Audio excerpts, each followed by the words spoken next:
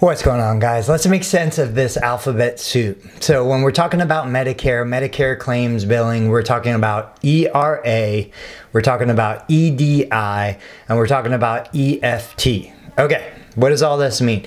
So, the ERA, Electronic Remittance Advice, that is the report. It's an electronic document that comes back into our billing software that allows us to auto post payments. So, in other words, it's just like what you would call a paper EOB, explanation of benefits.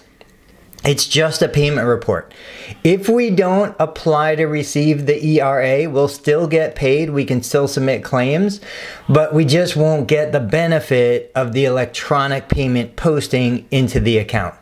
Now, the EFT, electronic funds transfer, that is your direct deposit. When you submitted your Medicare enrollment, your initial contract, you completed the 588, that is for uh, direct deposit of funds straight into your bank account.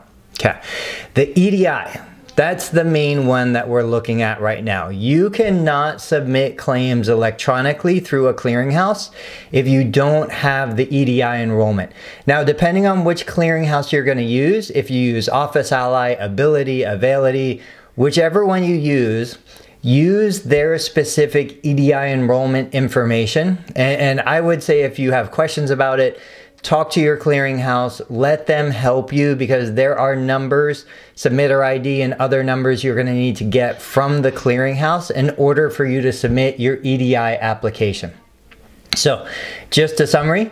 The EDI is what you need to submit claims electronically. Without it, you can still submit through paper. And if you have a Mac portal uh, login, you can use the Mac portal, depending on your Mac, to submit claims manually that way.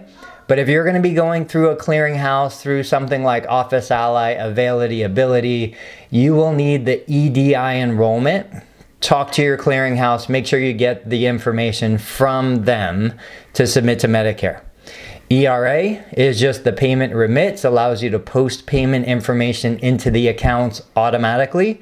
EFT is the electronic funds transfer, the direct deposit that was set up during the initial Medicare enrollment process, the CMS 588 form. All right, guys, I hope that was helpful. If you have more questions about the alphabet soup we have to deal with, just let me know. Post them in the YouTube comments, like the video, subscribe to the channel, and I'll catch you on the next one.